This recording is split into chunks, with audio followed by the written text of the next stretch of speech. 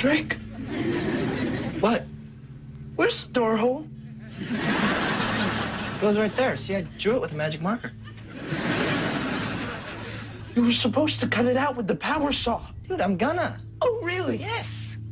So go get the power saw. Okay, I will.